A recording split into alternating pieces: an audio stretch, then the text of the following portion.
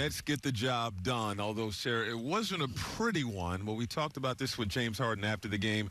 These games are still important, the ones that are mucked up. I, I, think that also was the concept for this Nets team of just learning how to win in different ways. And we see this. We talked about the start of the last game against Boston coming out of the All Star break, all the rust they had to shake off. Well, I think there was a, there was still some rust in a few parts for the Nets, particularly from the three point line.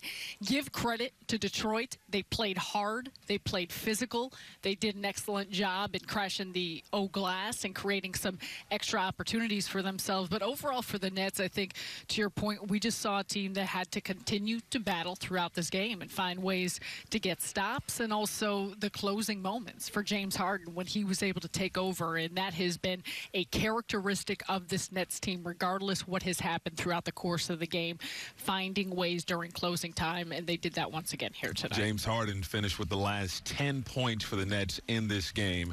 They struggled collectively from three. Both teams really couldn't put it in the rim from three point range. James Harden and Kyrie Irving combined to go 0 for 12, but they still found a way. We talked a lot about that February 9th being a turning point. What's going to be the key moving forward? They've come full circle with Detroit. What's going to be the key moving forward to make sure that they stay on the straight and narrow? I think it's the same type of things. And this is probably more of what we saw in the first half, but it trickled throughout the course of the game. Just attention to detail. And for as much as we focus on the Nets defense, a lot of that comes from the fact and ways in which they can mitigate some of those areas by taking care of the basketball, not putting pressure on their defense in terms of transition defense and giving teams easy runouts, and also taking care of the defensive glass. And Steve Nash has said on multiple occasions, we, we do not profile as a great defensive team, and in many cases, the rebounding with the lineups that they have have been an issue and an aspect that they need to find ways to shore up. But I think it's those type of little things and the fact that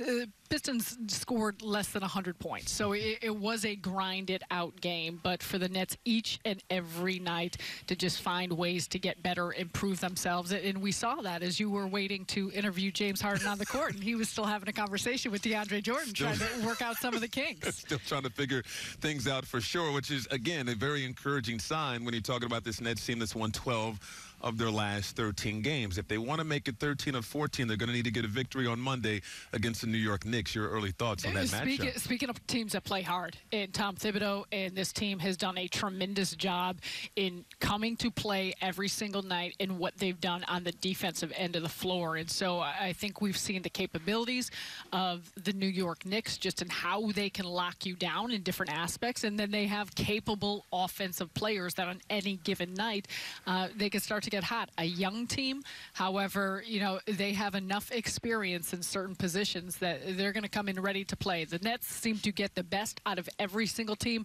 and I guarantee you they're going to get the best out of the New York Knicks. Nets may not have all hands on deck for that game, but we will. Sarah, myself, RJ, and Ian Eagle back in the big chair. Nets get the job done behind another triple double from James Harden.